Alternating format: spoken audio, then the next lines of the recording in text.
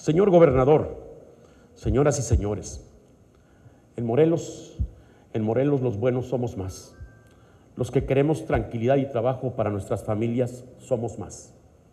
Los que luchamos día a día por salir adelante y que nuestros hijos puedan ir a la escuela, indudablemente que somos más. Celebro por ello inconmensurablemente los esfuerzos del Ejecutivo Estatal para sacar adelante y resolver con éxito los problemas que nos aquejan a todos los morelenses.